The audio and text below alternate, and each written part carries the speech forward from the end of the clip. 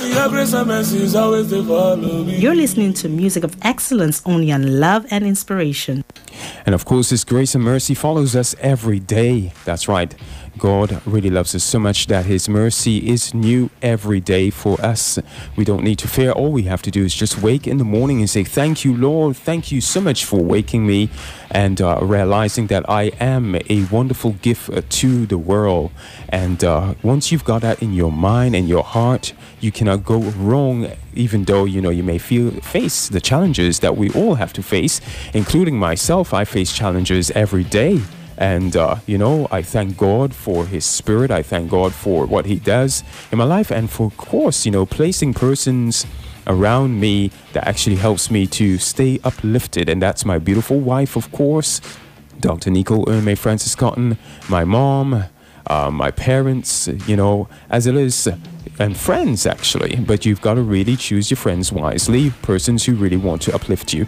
Well ladies and gentlemen it gives me great pleasure to of course introduce you to two persons right? A power couple live out of atlanta georgia and they are right now ready to uh, get into this very very powerful uh, conversation that we're going to have together and I really want to invite you wherever you are to sit back, relax, and turn the volume up. You know, make sure you uh, have went to the kitchen already, got your glass of water, etc. Because this is going to be very interesting. Because I'm going to be speaking to Mr. Sean J. Harris and Tara Harris out of Atlanta, Georgia, and you're going to hear all about these really wonderful uh, persons who are already on air. So uh, let me just uh, connect with both of them and I'm going straight live over to these wonderful uh, folks right now. Good afternoon, Tara, and uh, of course, uh, Mr. Sean J. Harris. Can you hear me? Yes. Hey, Roy, how's it going? Good afternoon. I'm doing very well. Good afternoon to you over there in Atlanta, Georgia. And uh, I'm pretty sure you've already had a lovely uh, Sunday thus far. Yes, we are. Okay. Absolutely. Okay, great stuff. I'm really happy to connect with you. As I was uh, sharing a while ago with the wonderful listeners here on St. Martin, and of course the Eastern Caribbean who's listening, and the world on www.pjd2radio.com, it's really a pleasure to connect with both of you. I stated to uh, the listeners uh, before the interview that I would be speaking with both of you, and um, you know, having you on the show today is really a pleasure because I know Sean and Tara, you you know, because of your very busy schedule, uh, it's, uh, it's not always easy to connect with you. So um, I know there's a little bit of a delay, but uh, just uh, let me know if you can hear me at this point in time. Very loud and clear? Yes, we hear you loud and clear. Okay. Well, let me just introduce you to uh, the listeners out there so they have an, an idea of who I'm speaking with today. Sean J. Harris is a former non commissioned officer in the United States Air Force, serving during the Persian Gulf War. He was born in Atlanta, Georgia. He is the second of three children. Sean has an extensive and diverse background in aerospace, propulsion, law enforcement, and real estate. Sean is a serial author of 15 books. Sean has helped many businesses owners start their businesses uh, from their inceptions, and Sean feels that it is important to create financial literacy and to create a firm foundation for business ownership at an early age. Sean comes from a family of entrepreneurs, and uh, Sean and his family live in Atlanta, Georgia area. Now, today, Sean provides, and his family, was pro- the ownership that he has, today's business ownership is providing uh, Sean and his family with what they desire most freedom to choose and to have the time to pursue their purpose on this earth, which allows him and his wife and children to live a purpose driven life. So that's you, Sean. And uh, next to you is your lovely wife, Tara Harrison. Let's uh, see uh, what is stated about Tara here. And uh, I'm pretty sure the listeners will also be very interesting to hear this. Tara Harris uh, grew up in uh, Smyrna, Georgia, but now resides in Stone Mountain, Georgia, with two sons, a daughter, and husband, which is, of course, Sean. She is a United States Navy veteran serving two, uh, serving two during two wars Iraq Freedom and Afghanistan War on Terror. After completing active duty, Tara returned to Georgia and completed a degree in health information technology. She worked with and is passionate about special needs kids and adults. She worked with special need families for 10 years. Now, Tara and her husband are on a mission to help as many families as they can become financially literate by developing multiple streams of income. She also manages two of her children's fast growing businesses. And Tara is also available for consultations. And, uh, you know, of course, if that's what you would like to uh, be able to do, we can uh, share that later on, of course, with the listeners. So, Sean and Tara, wow, two dynamic people. A dynamic couple here on air, and you're in the right place because this is Love and Inspiration where you can empower and inspire not only listeners in St. Martin, but in the whole world. So let me just turn the flow over to, uh, let's start with the ladies first. Tara, are you ready? I'm ready. Okay. So, Tara, as I just shared with the listeners a little bit about your um, past, I just want to just kick in with the first aspect was that you um, are United States Navy veteran, and you served during two wars Iraq Freedom and Afghanistan War on Terror. Now, just because persons might be thinking, wow, really, you did that? Can you just share with us a little bit about how was that experience, um, you know, for you um, being in such a place, and then we can move on, just to get a little bit of an idea. Because today we see you, and you, you you're by Sean's uh, side, you're doing great stuff, but that's a whole different turn. Yes, well, I, I went to the Navy because after spending 12 years in school, I knew I wasn't ready to go to college yet. And so I joined the military because I knew I could travel. I get money for school if I wanted to go to college later, and I got to do something honorable for my country. And while it wasn't easy, you know, I had to leave my oldest son um, back here in the States while I went out to one of those wars and he was only six months old. So that was hard and you know, it I it was hard for me, but after getting out of the military I realized the experience grew me as a person and make me who I am today. Mm, talk about uh, an experience, of course, uh, and you stated that that was a, a, challenge to do to, you know, have to leave uh, someone that you love so much uh, behind, but also at the same time having to make that choice to serve your country. Uh, as I'm hearing that from you, Tara, um, that already talks about that you have to make decisions sometimes that you know may be challenging, but at the same time, when it comes to having to serve you know, once you are called to serve, you have to step out and do that. Absolutely. I, I prayed every time I was out to sea or in a, in a war zone, in a, in a hazardous area, and God brought me through. All right. Well, I really appreciate you sharing that with me um, and the listeners. And I'm just going to come back to you in just a little bit, uh, Tara. But let me just uh, move over to Sean because you've also got an experience too um, in the United States Air Force. And uh, just to give the listeners a little bit of a, an idea on what is what, I, I know there's a little bit of a delay, so hopefully you can be able to um, send your message across uh, quicker so that we don't have the delay. Go ahead, Sean. Yes, uh, same thing like with Tara. You know, when I was uh, in high school, you get the infamous talk from your parents. You have three choices to either go to school, uh, get a job, or go to the military. And at the time, I just didn't want to continue in the school system, want to take a break, and uh, didn't want to go get a job because I don't like being told what to do. So I uh, decided to go to the Air Force, and of course, they still told me what to do. But it gave me an opportunity to grow up and uh, travel the world and just be able to learn some new things. Uh, I learned very quickly how to become an adult, a responsible adult, as far as maintaining uh, living arrangements, being able to eat, and um, you know, just be able to budget finances, and to just see the real world as an adult and not be under the umbrella of my parents pretty much being responsible for me.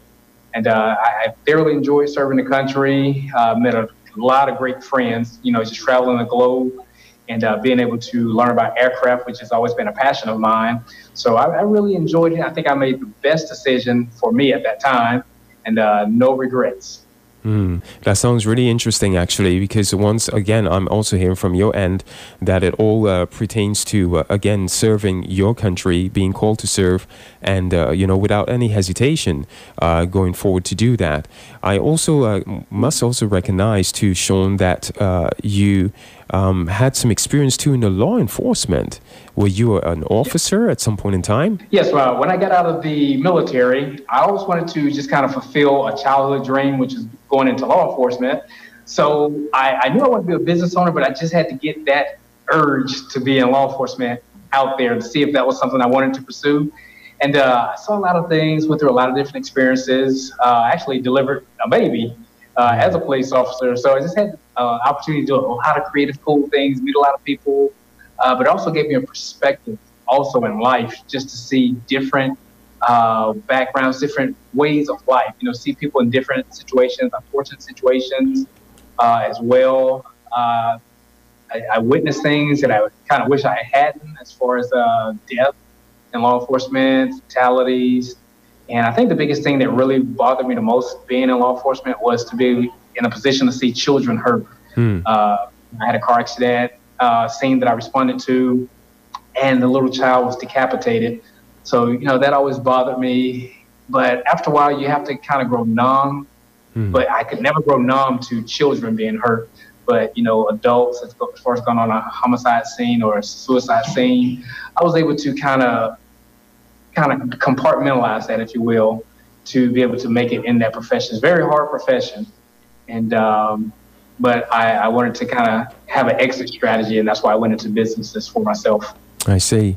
And uh, even though, you know, it had been challenging in some ways, and uh, as you stated, you know, you don't want to actually see children in such situations, uh, uh you know, as you, as you stated earlier, um, in, in, a, in a way, you actually uh, did give your your best and you also served and uh, i'm pretty sure the persons that you got in contact with uh, including tara uh, during her time of service uh, made a difference in those persons lives and that's something that you know is in- invaluable and uh, you know that cannot be reversed actually Absolutely. Oh, I'm really happy to have you on the program. And for those who are just tuning in for the first time, this is, of course, Love and Inspiration Live with your host, Roy Cotton Jr.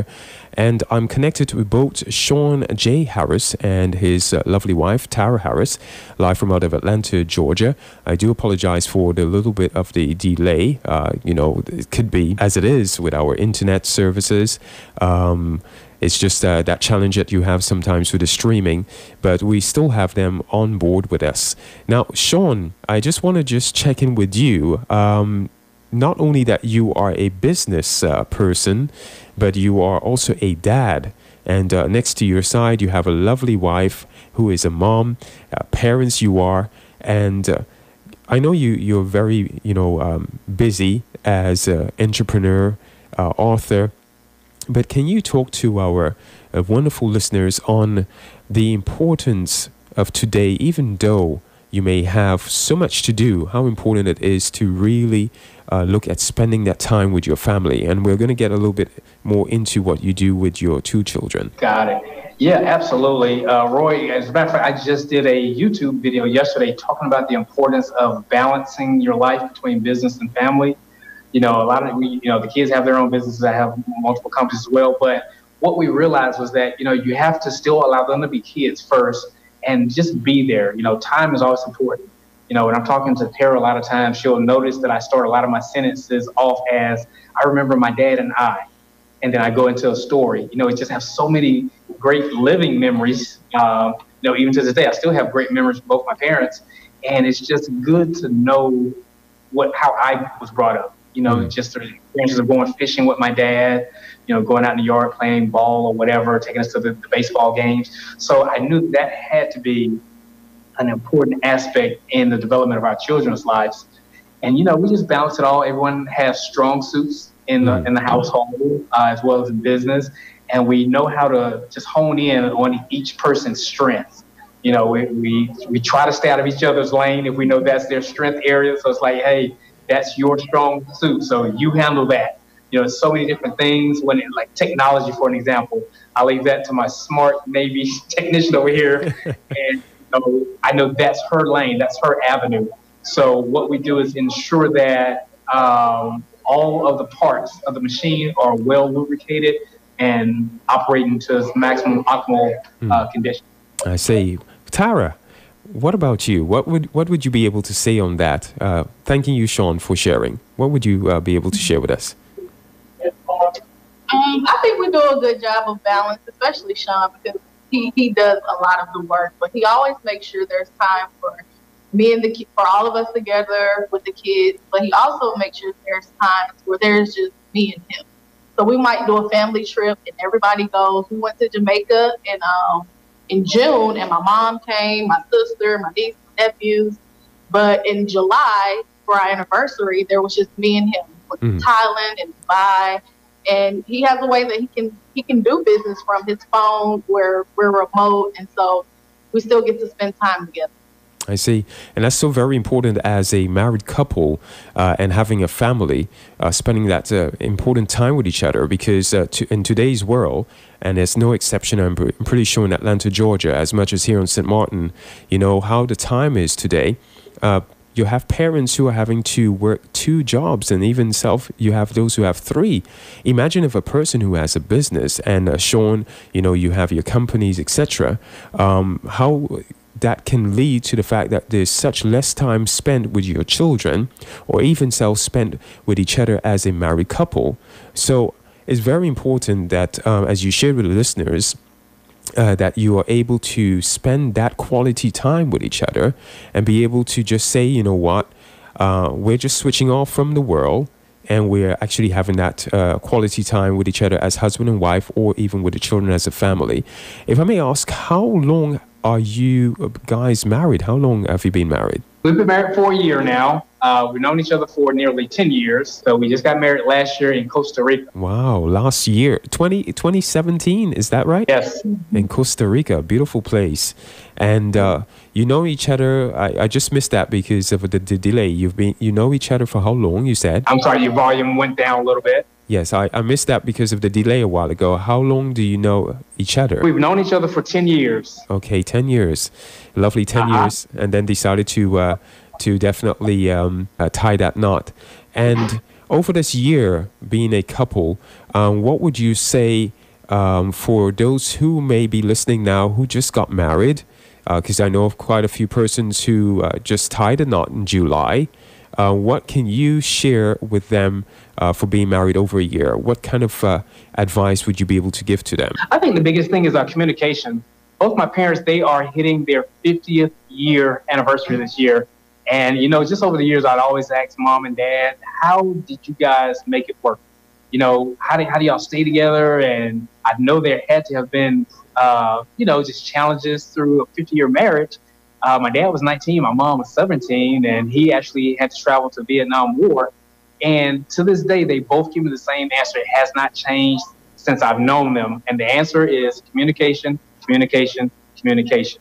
Mm-hmm. They both talk about, you know, being able to communicate about stuff and, you know, doing it in a responsible fashion. You know, there's ways to communicate at a high volume, argumentative way, but then there's also a way to communicate where you can be civil and discuss stuff, know when to take time. Hey, cool off. You know, my place of serenity is going to the gym to go work out, and you know, give me an opportunity to get my thoughts together, uh, get clarity of thought. So, you know, the biggest thing, and that comes again, boy, with knowing each other's strengths and knowing, you know what, I think she needs a little time right now, or I can see the kids are getting to her a little bit. So let me take the kids to the park. Let's go get some ice cream or something like that and it gives us an opportunity to all refresh and recharge our batteries.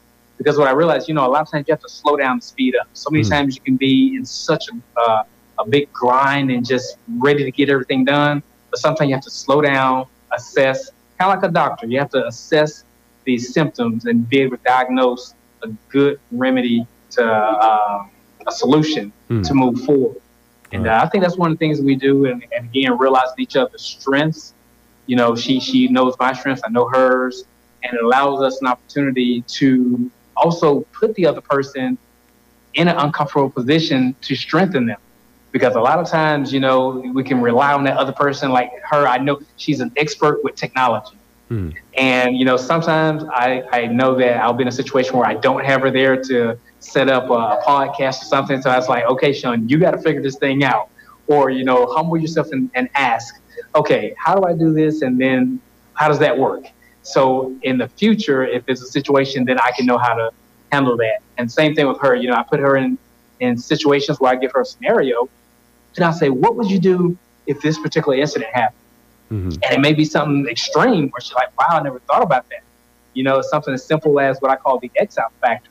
You know, if you were X out of the equation, what happens to your family financially? What happens to the legacy? You know, just the steps of how to conduct yourself and take care of the family. So I think that's uh, one of the big things that help uh, a couple out in a marriage. I see. Sean, thank you for sharing that. Tara, what can you say from your end, especially to encourage hus- uh, encourage wives out there? Well, I think a misconception people have um, about marriage is that they get in this beautiful dress, they walk down the aisle, and from there everything is just going to be blissful for forever.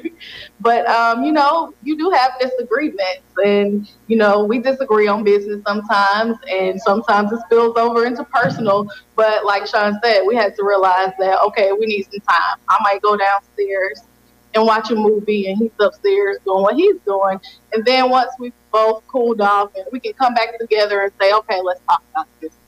Mm. And we can come to an agreement and is good from there. And of course, at the end of the day, you just you continue on as a, you know a, a couple uh, really sharing your love for each other and empowering each other uh, to be able to also be there for your children.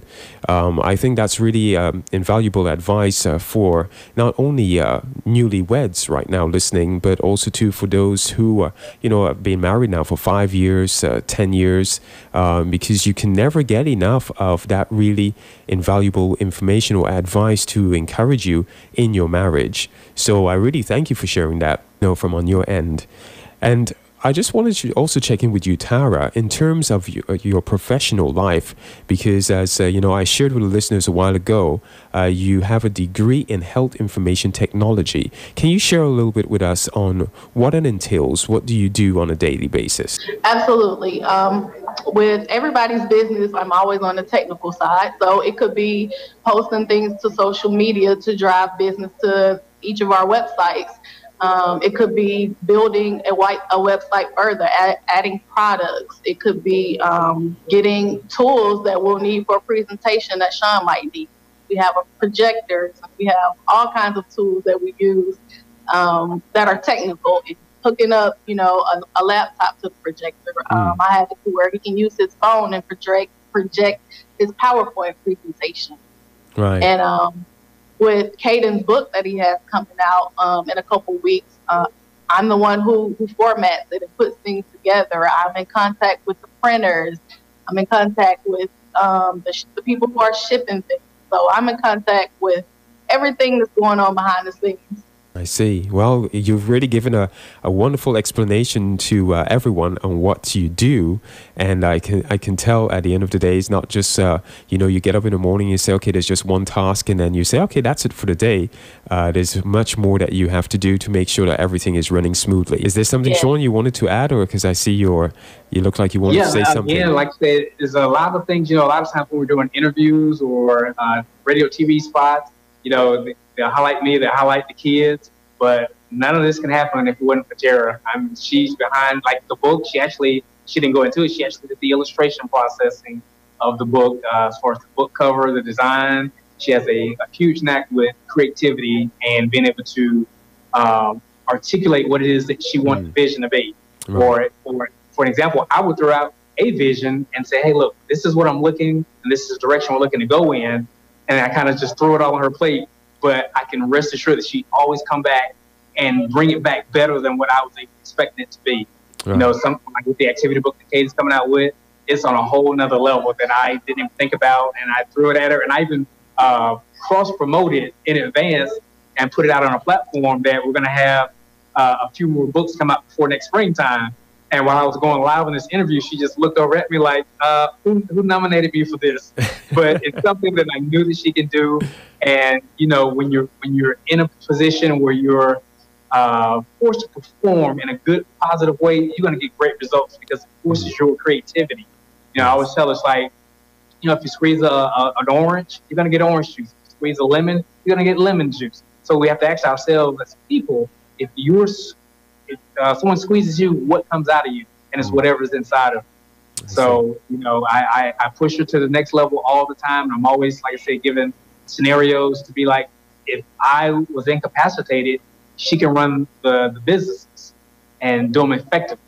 So, you know, I think I think that's a big thing, and just being able to, like I say, keep the cohesiveness with the family. That that's what's really important. You know, yesterday we went to the park.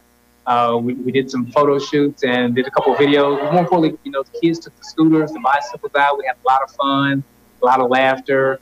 And I think that's the biggest thing is just being able to just keep a good harmonious balance mm. and letting the kids still be kids without uh, missing over that childhood, but to also instill in them responsibilities and learn about financial uh, literacies. I see. Really, really great advice. You know, I want to just actually pick up on something here, and especially for the listeners out there. What I recognize with both of you is that you really complement each other in a very honest and uh, genuine way. And that's so very important because you do sometimes have couples out there who um, you may have the husband and he may feel in somewhat way um, inferior to the wife because she's stronger in the area, then that leads to arguments. But it's so very important to be able to acknowledge and amplify um, what your wife is good at doing or your mm-hmm. husband and even in public uh, to to let persons know, hey, I'm super proud of my lovely wife. I'm super super proud of my handsome husband. Um, you know, this is what he's good at. He's uh, a great husband, etc. It's so very important. So I really appreciate that that you shared with the listeners. And as I speak with you and I look at both of you, I can see how young you look. The listeners can only hear that I'm saying that, but um, I don't know if you want to disclose uh, how old you are so they they know how young this couple is here and doing really great work. Sure, I'm I'm 46 and okay. she's 34. All right, great stuff. 46 and 34, two young people doing an awesome job. So congratulations to you, definitely. So that gives me inspiration. I'm still young too. absolutely, absolutely. so let's talk a little bit about um, uh, Sean and Tara. Let's talk a little bit about what you're doing with the children because you mentioned a while ago briefly about books and. Uh, this is so very important right now that I want to us to touch base on because today, you know, there are families out there who may feel so frustrated um, with the times that we're in. It's challenging, and uh, you know, on St. Martin and some other islands, we we came out of Hurricane Irma last September, a year ago, in a few days, and for many persons out there, uh, it's challenging financially. And, you know, um, Sean, you are an expert in what you do. You have quite some businesses. And uh, as it was stated here, you are known as America's leading voice when it comes to helping families create generational wealth through yes. building multiple streams of income. Why I'm saying this is because right now on St. Martin, uh, for some families, some persons, they're out of work. And they may be like, what in the world can I do now with my life? Uh, they may have children, and they're like, "What can I do? I have my my 16 year old son, or I have my 10 year old boy or daughter. What? How how how can I move forward?" But you're doing something awesome with your children, and I just want you to share with the listeners out there so that they know what could be possible too with their children to take them to another level. Gotcha. Yeah, you know, uh, St. Martin is one of my favorite places to travel. I, I love the whole Caribbean. And the, the thing I love about it so much is just the the unity. I like spirituality that's in the Caribbean, where everyone is spiritually based, and it's just a sense of family. You know, I took uh, took my family. I've been to Jamaica numerous times. Uh, I brought the family to Jamaica this year, and you know, one of the biggest things that I kept raving about was watch at how close you become family. You know, and you don't get that here in the States so much. It's more of a commercialized, you know, it's just what I can get. You, you're not helping the next person. So, in, in what's going on in the Caribbean and in several places, you know, we just had this other storm come through. Uh, what's going on in Puerto Rico, St. Martin, all these different places that it's like people overlook what happened and it's like they're forgotten about. But what I recommend, you know, is just come together together and be a family know, pray together, we stay together, and just you know help help your fellow neighbor. You know, it's, it's like okay, we had devastation, and I got to get mine, but I'm not focused on you get yours either. But see, if I help you in your situation, that'll put you in a position where it lifts you up, elevate you on a platform that could later elevate me in a higher platform through uh, your sphere of influence with people that you may have met that may say, hey, well,